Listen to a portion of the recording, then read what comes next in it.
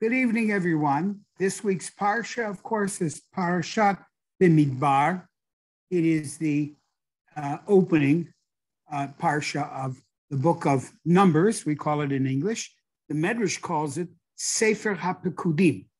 Uh, the, the Medrash calls the book of Bamidbar the book of counting, numbers, of census.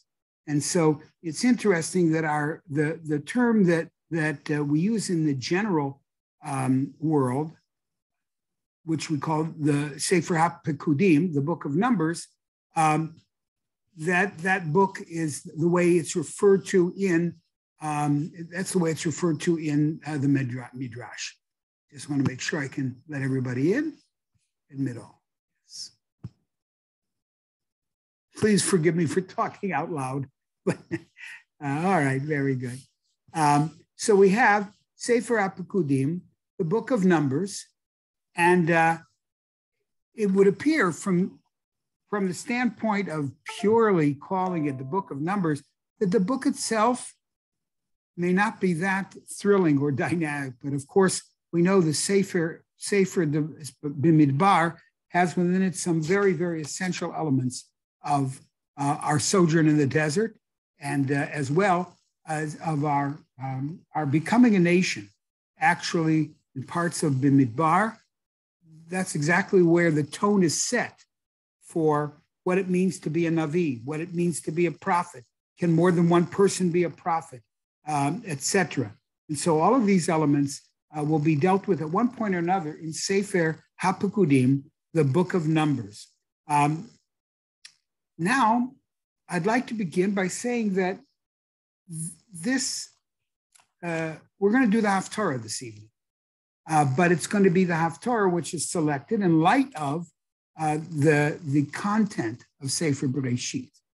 And we're going to talk today about vastness uh, and intimacy. And we're going to talk about greatness and smallness. Um, both those elements are found both in this parsha as well as in the uh, as well as in the uh, the Haftarah itself. And so there's, uh, I'm sure that among the, the selections that Chazal made was this, this concept of seeing the recurring theme of, uh, of, uh, of greatness and smallness and vastness and intimacy all in one. It's interesting that when, we, when we're in a, a, a huge crowd, for example, those who attend, uh, let's say, a, a large concert, oftentimes outside, or those people go to a to a baseball game or a football game where there could be tens of thousands 20 30 40,000 people. There are two emotions that seem to go through us both at the same time. One you feel rather small that your uh, your participation or your presence in itself uh, is not something which makes much of a, a difference. On the other hand there is something exhilarating about being part of something large, something great. So let's go from the trivial to, to the sublime. The trivialism at a baseball game, and uh, somebody hits a home run, and 40,000 people scream, and the home team wins, and uh, you do, do feel a part of something big, no question about it. Um, but that's in a trivial sense. But the sublime sense is that once every seven and a half years, we get to participate in a worldwide siyum of tens of thousands, even hundreds of thousands of people.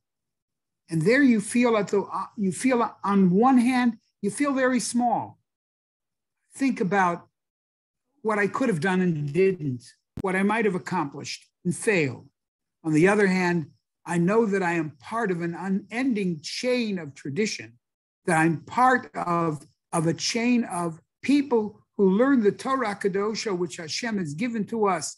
And, and that even if I have myself not finished Shas, I am a part of that people. And even if I'm even if I haven't done much at all in terms of learning, I am a part of that celebration.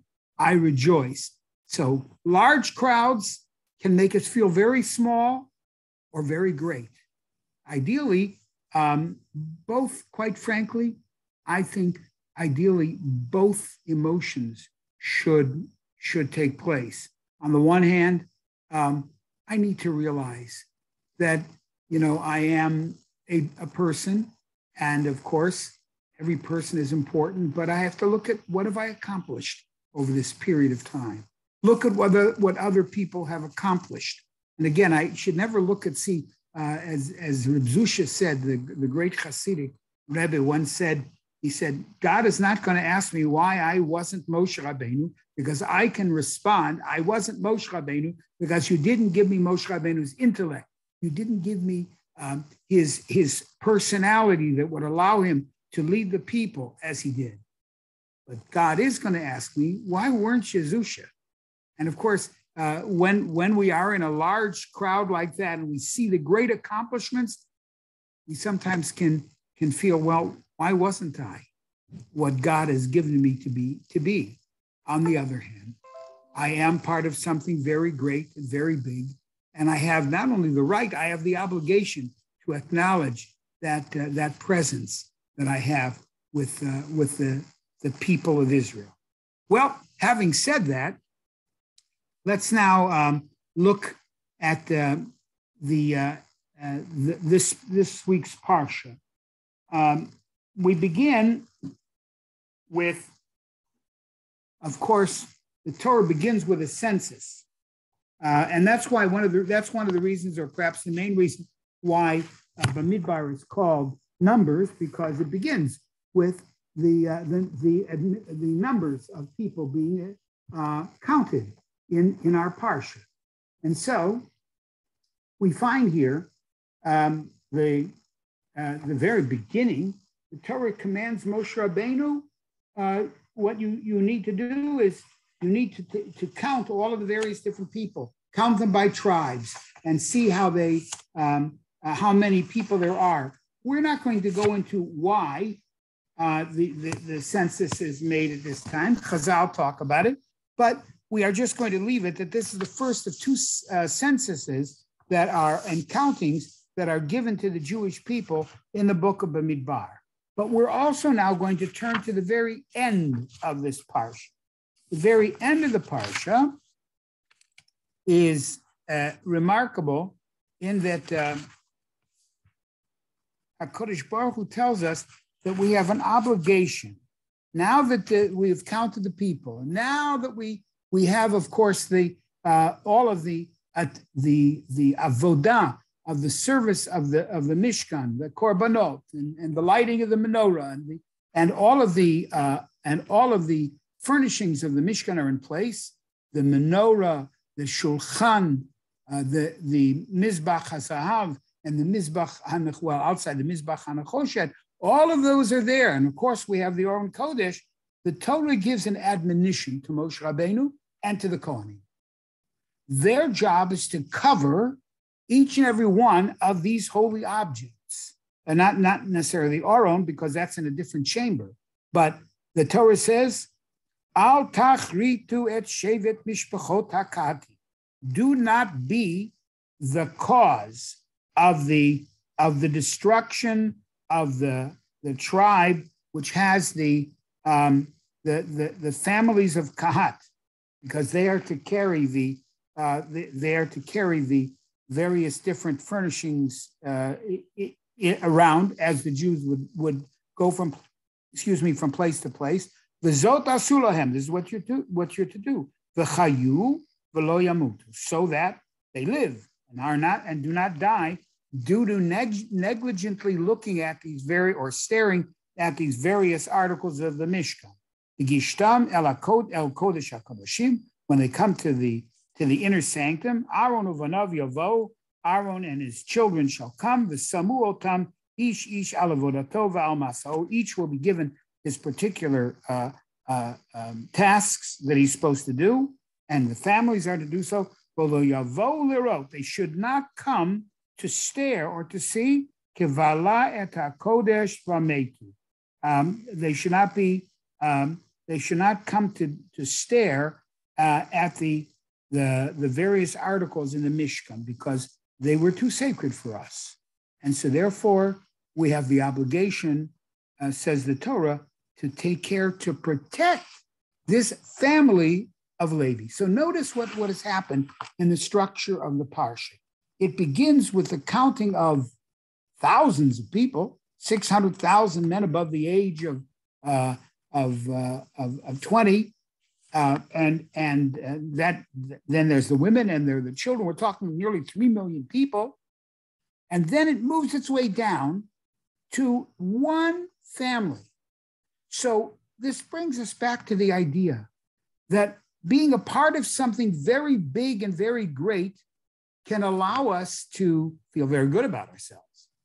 But we dare not, we dare not uh, forget the individual. Judaism has always been concerned about the individuals, individual rights, individual privileges, individual uh, sanctity. And so the Torah says all these people are here, but no, uh, K N O W, know that um, you have to take care of them. And you can't, you Kohanim may not be the inadvertent cause of, uh, of death or pain to other people of one family. That's basically the structure of Parshat, uh, uh Parshat Bamidbar. Now let's look at the Haftorah of Parshat Bamidbar.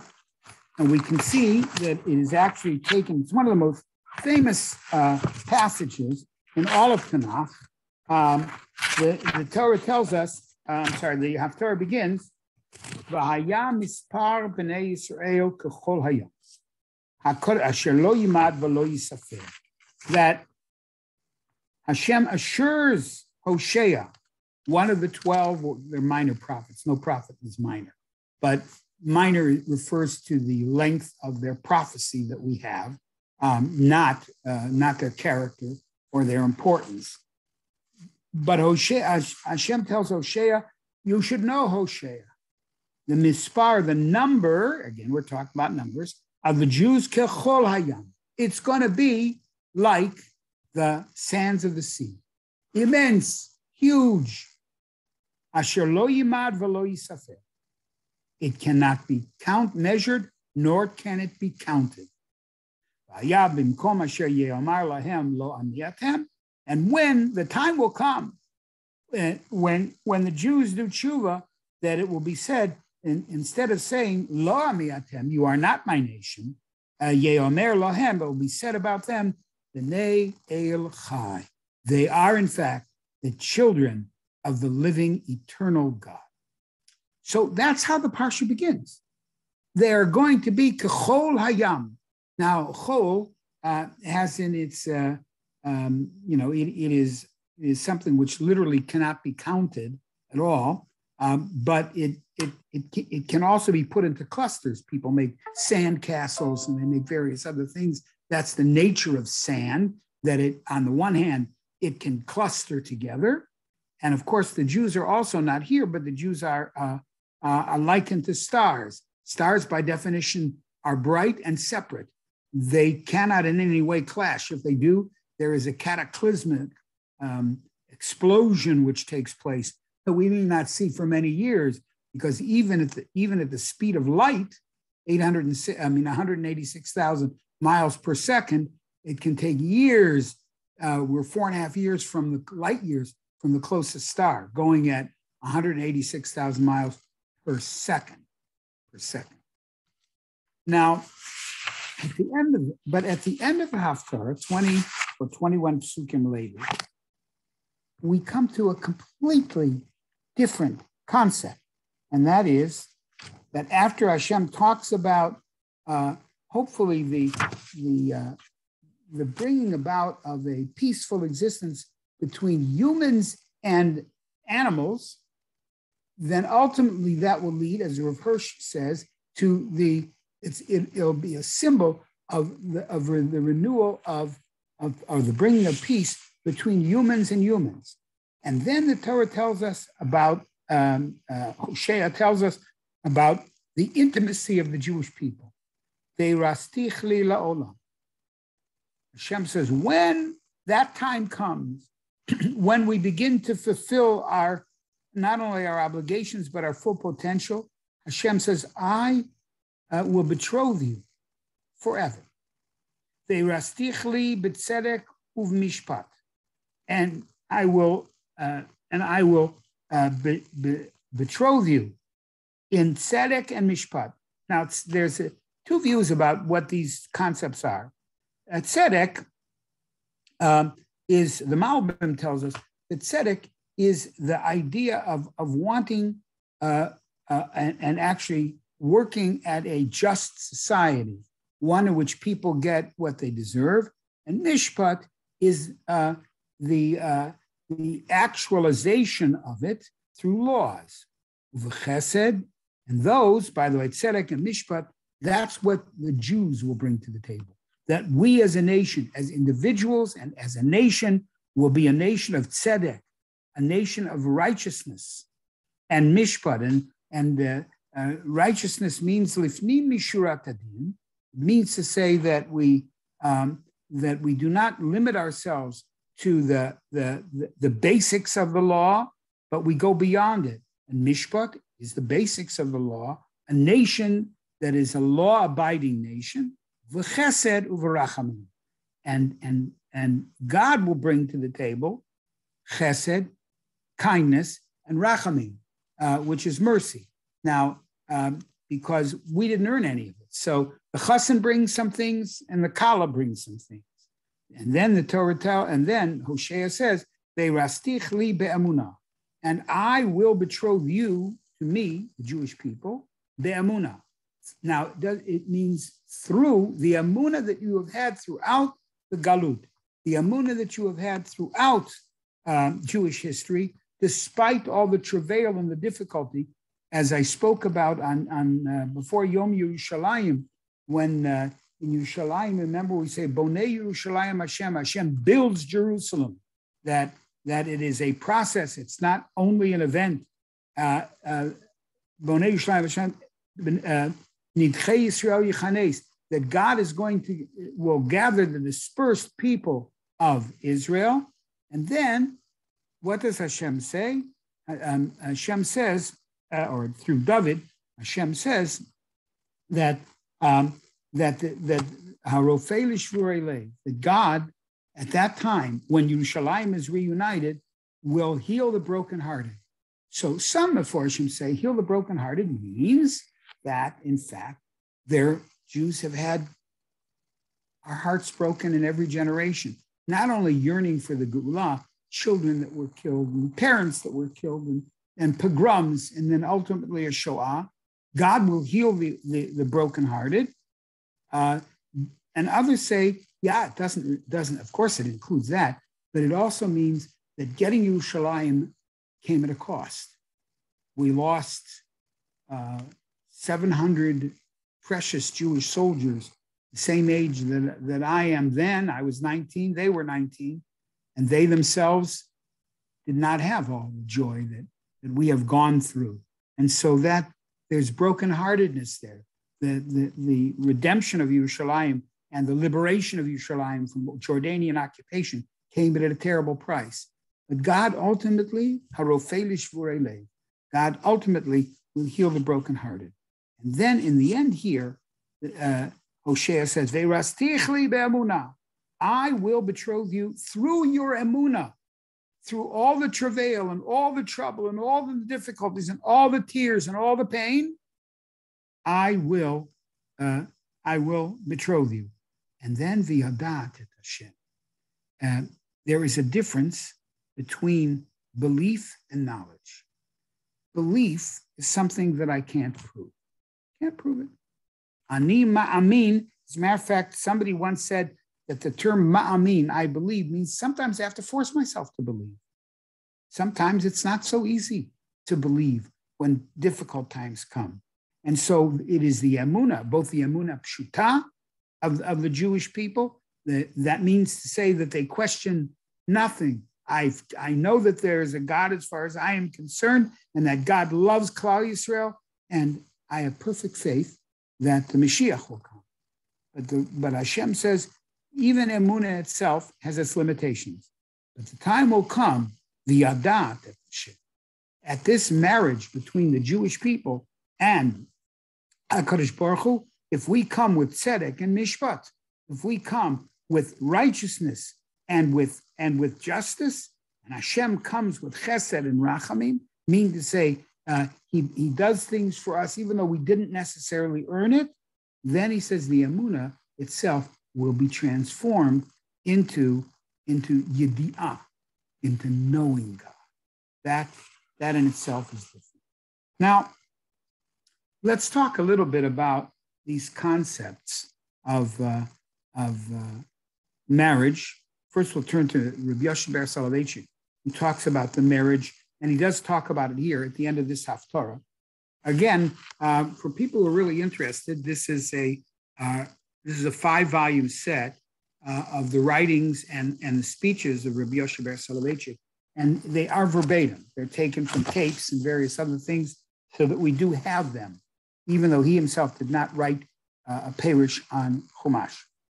But he writes as follows Marriage is more than a formal community or useful partnership.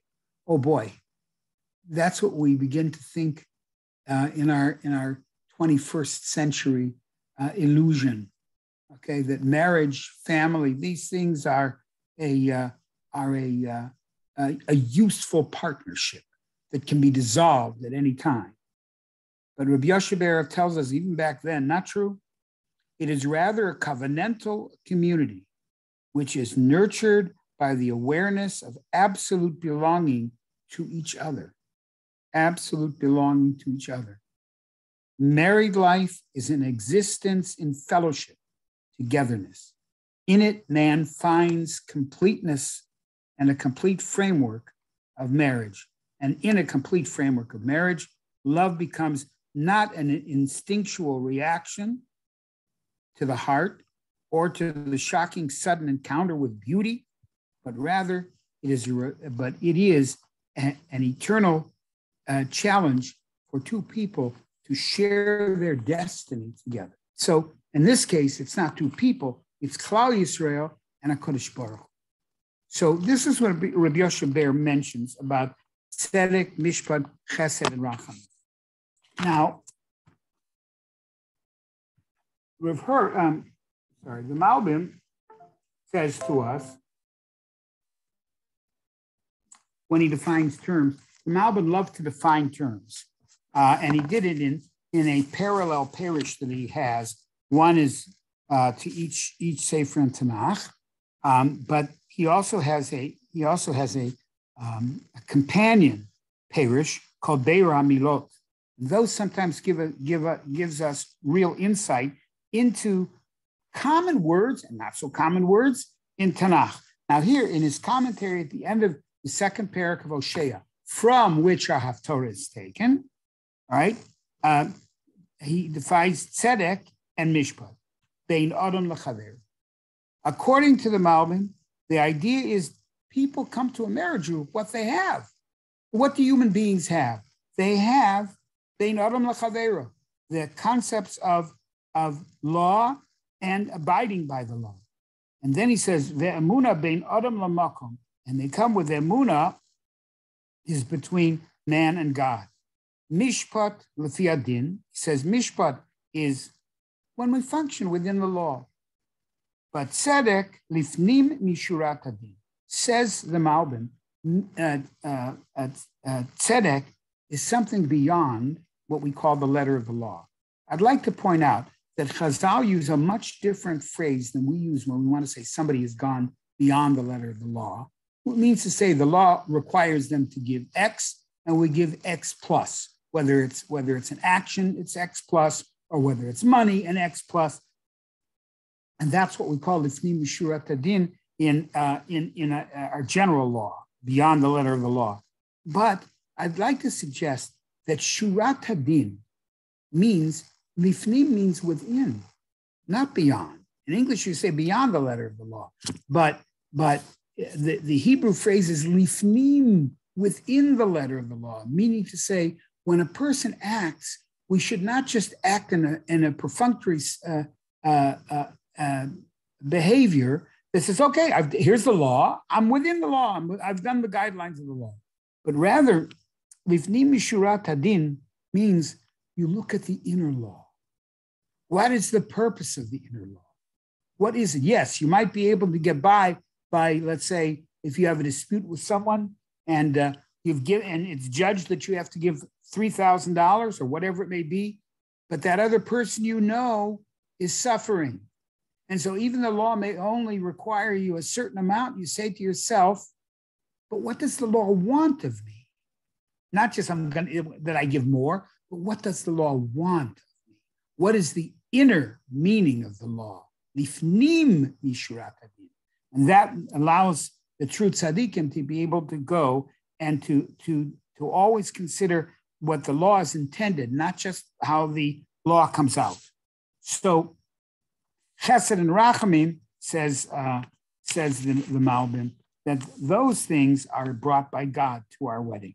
The adat, uh, this yediyah, as he says, is more than just a. Uh, and this is the Malbim. It says yediyah, the knowledge is more than just, shall we say, a uh, um, uh, general knowledge of uh, more than emuna. It is deeper than emuna. The knowledge is something that is not just belief, but it is actual um, reality for someone that cannot be disputed. That's the difference usually between a belief or of a, uh, a belief or a um, an opinion. An opinion is something can, that can be disputed. Uh, obviously, the more buttressed the opinion is with, with either facts or, or support, then of course, then it, then it, it has more, uh, more vitality to it, more believable. But knowledge is something, reality is not something that can be contested. The earth is round. You can't say, but it's my opinion that it's not, well, okay. I mean, there's always going to be somebody whose opinion is that, but it, it's something which cannot be uh, disputed. And so therefore he says, this emuna, says the Malbim, will turn into yedi'ah. It will become not just I believe, but I know. Now, Rav Hirsch, in the late 19th century, writes as follows. He says that, that tzedek is, is not something that we do, but it's a recognition of the ideals of right and justice we all have a concept of what is right and what is just. And so Rav Hirsch says that's tzedek. Not in, he doesn't get to a court of law. I know intuitively certain things just are not right. And, and, and that, that applies to the Jewish world, the non-Jewish world. I know certain things aren't right.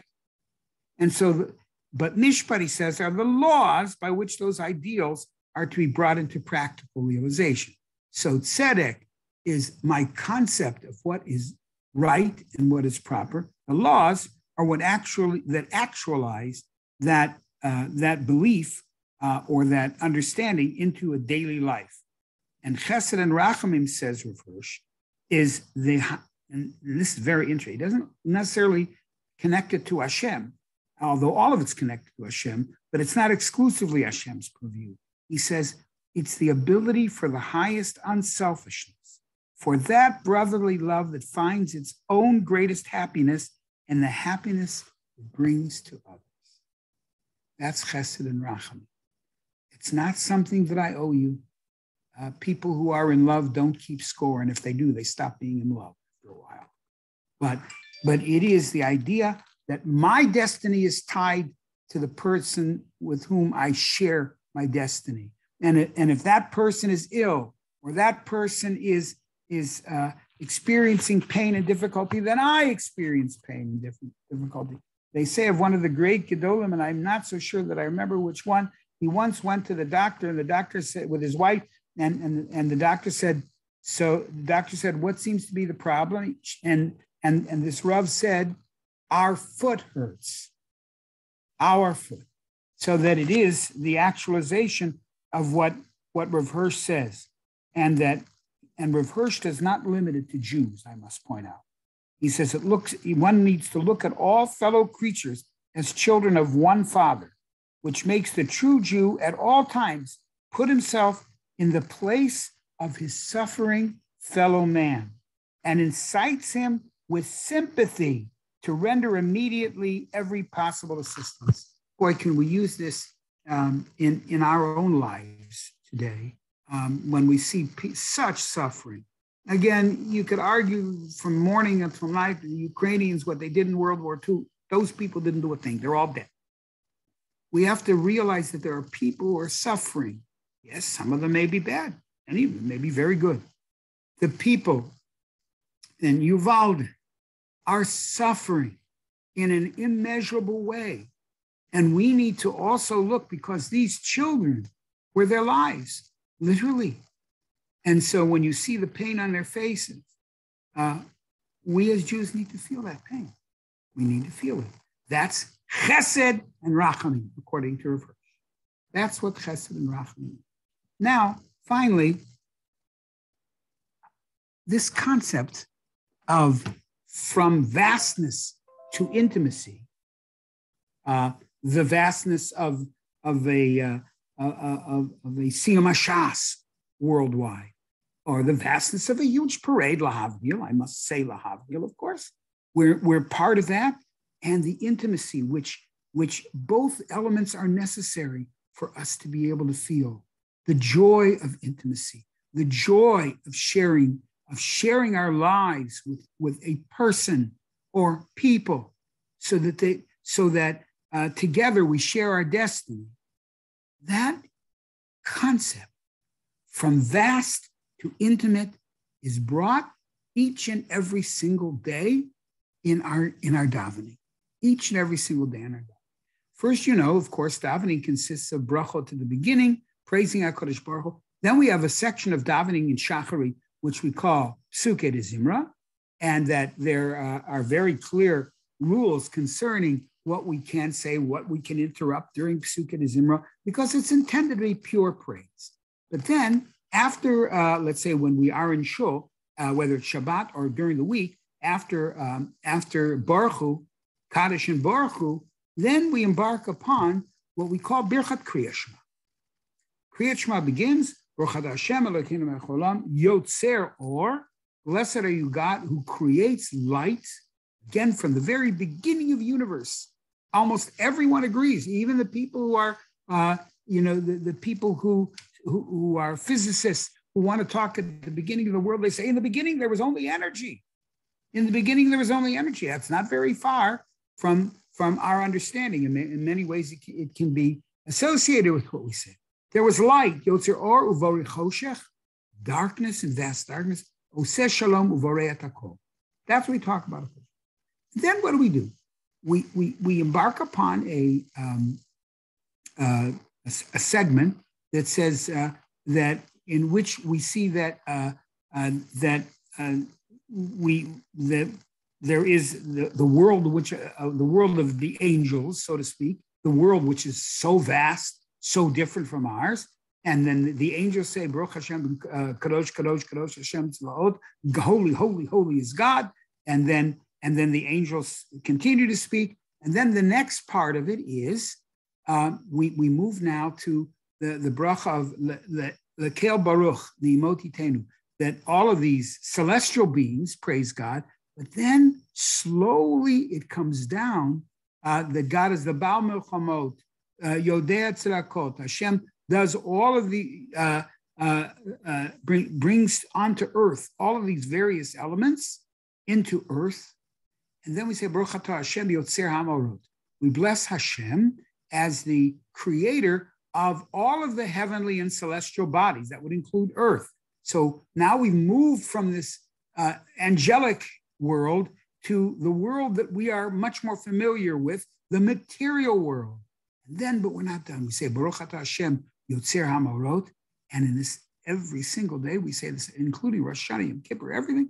We then start, we say Ahava uh, move from that from God, the Creator of the world, the universe, to our part of the universe, to our part of this universe, which is Ahavah Rabbah Ahavtanu Hashem. You have loved the entire Jewish people right? And we and and and that that love is expressed through the Torah that He's given us.